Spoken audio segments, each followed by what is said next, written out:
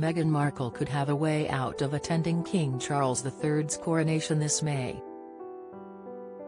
The Duchess of Sussex and Prince Harry have been personas non grata with the royal family since stepping down in 2020, as they continue to share stories and fire shots at their UK family. Tensions are sky-high with the Sussexes after Harry's memoir Spare hit the shelves, but the King is said to want his son to attend. Angela Levin, a royal biographer, has also warned there could be a toxic atmosphere if Harry attends. Because what he's said since the Jubilee has actually been too horrible for words, and they're all furious with him. She then added that he might do a quick there and back without Meghan, and was then asked by Talk TV's Mike Graham if the way out for Meghan attending the coronation is Archie's birthday. The Sussex's eldest son was born in London in 2019 and will turn four years old around the time Charles is coronated king. They could say that she was staying at home for the birthday, Angela added.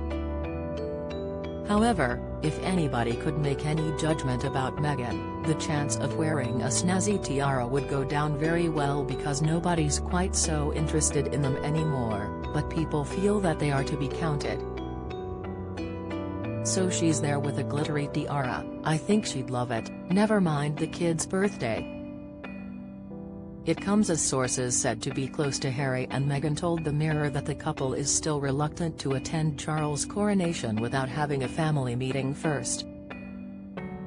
US and China already in Cold War as negotiations not plausible however, a friend of Charles has told the Daily Beast he simply won't have the time to sit down with Harry for a private summit before the coronation. Charles adores Harry and wants him to be there, they said. But he has a coronation to organize. Meanwhile, a friend of Prince William told the outlet that there is no chance the Duke of Cornwall will apologize to his brother. What should he apologize for? They said.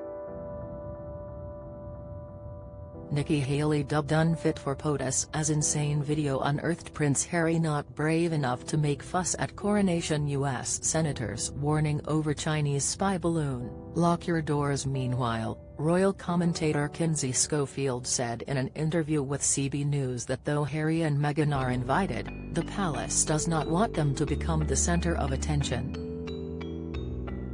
She said that the pair have been advised to speak of nothing but the weather, saying, a source close to the royal family says that Harry and Meghan should be prepared to talk to senior royals about nothing but the weather, which we can all understand. Those two can't keep their mouths shut. Loose lips sink ships. This was going to be a PR nightmare if King Charles did not invite Harry and Meghan to the coronation. Follow our social media accounts here on Facebook com slash Express Us News and at Express Us News.